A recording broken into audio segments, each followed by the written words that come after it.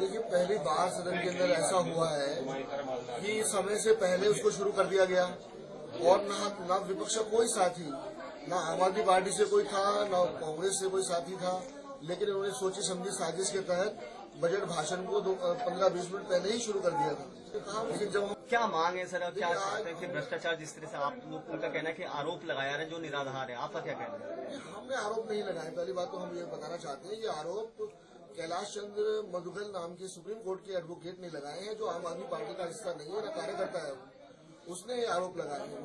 उपराष्ट्रपति जी ने माननीय उपराष्ट्रपति जी ने उसकी जाँच के आदेश दिए। तो इसमें हमारा कोई रोल नहीं है। हम तो इतने गंभीर आरोप उन लगे हैं भ्रष्टाचार के। हम ये चाहते हैं कि जब तक ये जाँच खत्म ना हो जाए, जब तक मेयर साहिबा अपने इस सीट पे ना बैठे वो इस्तीफा दे दें। डिप्टी मेयर सदन को चलाए क्योंकि जाँच को प्रभावित कर सकती है मेयर। अगर मेयर भी रहेंगे जाँच भी कर जाँच जाँच भी होगी ऐसा भी हो सकता है क्योंकि एमसीडी के विजिलेंस विभाग ने ये जाँच करनी है जो इनके अधीन है।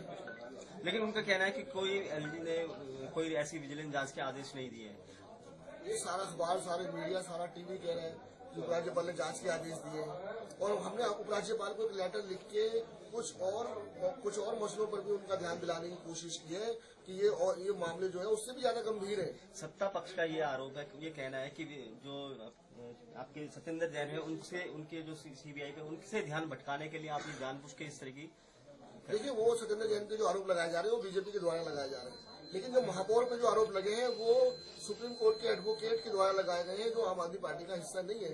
अब बीजेपी वाले तो जो मर्ज़ी कहें बीजेपी की सरकार है।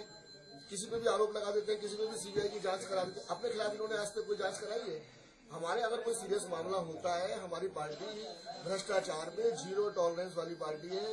हमने अपने तीन तीन, चार चार विधायकों को बाहर निकाला है। बिल्कुल, हम स्वतंत्र एजेंसी से चाहे कोई भी एजेंसी हो सीबीसी हो सीबीआई हो, या स्वतंत्र एजेंसी से यह जाँच होनी चाहिए।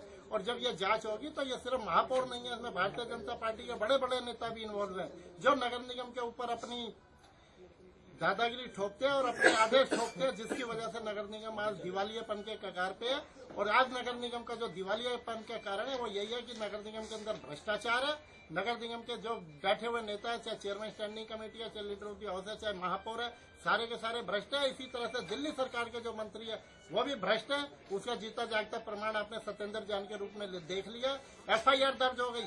कितनी शर्म की बात है। एक तरफ़ पारदर्शिता की बातें करती है दोनों तरफ़ की पार्टी। मोदी जी भी बात करते हैं पारदर्शिता की और केजरीवाल जी भी बात करते हैं पारदर्शिता की। लेकिन दोनों के दोनों के मंत्री भी और महापौर भी अपने आसन पे विराजित है।